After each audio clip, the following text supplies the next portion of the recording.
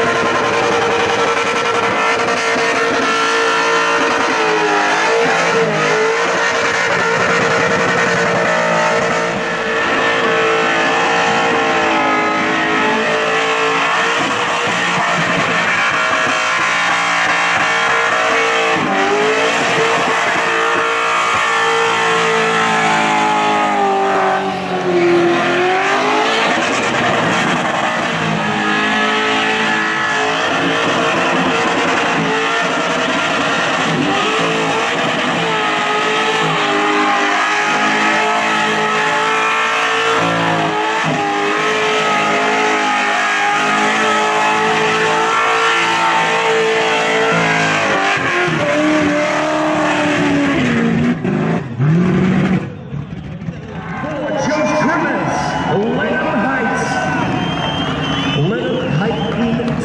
that's what it's Uh, I ah, guess unfortunately, sometimes you do get the old haters.